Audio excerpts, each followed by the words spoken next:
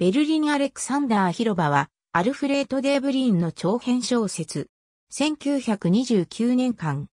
1920年代のベルリンを舞台にした都市小説でデーブリーンの代表作であるとともに現代、ドイツ文学の傑作として知られている。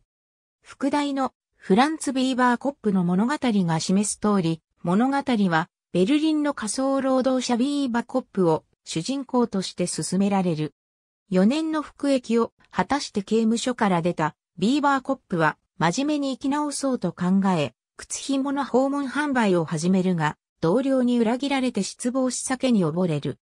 その後体勢を立て直し、ラインホルトという若い男と知り合い彼の仕事を手伝うが、それと知らずに手伝ったのは窃盗団の仕事であった。その上逃走の車中でラインホルトの反感を買ったビーバーコップは車から突き落とされて、右腕を切断する羽目に陥る。療養が済んでからは、娼婦、ミーツェと生活を始め、ラインホルトを訪ねて窃盗団に入り直す。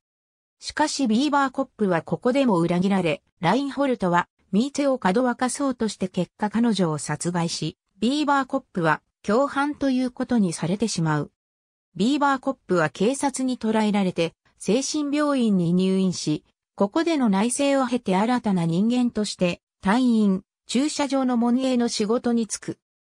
このビーバーコップの遍歴を主軸としながら、作中では、都会の様々な声とイメージ、例えば新聞記事や広告、ラジオ放送の引用や、市中の人々の会話といった都市の情報、さらには、聖書の宿といったものが、映画的なモンタージュの手法並びに、ジェームズ・ジョイスのユリシーズを範とした意識の流れの手法などによって重層的に描き出されていく。精神科医であったデーブリーンにはベルリンの労働者たちと日常的に接する機会があり、それとともにエルビン・ピスカトールの革新的な劇場演出から影響を受けて本作が執筆された。発表後ベストセラーとなり、翌年よりすぐに各国語への翻訳が始まり、フィル・ユッツ監督による映画も制作された。1980年には、ライナー・ベルナー・ファスビンダー監督によって15時間のテレビ映画も制作されている。ありがとうございます。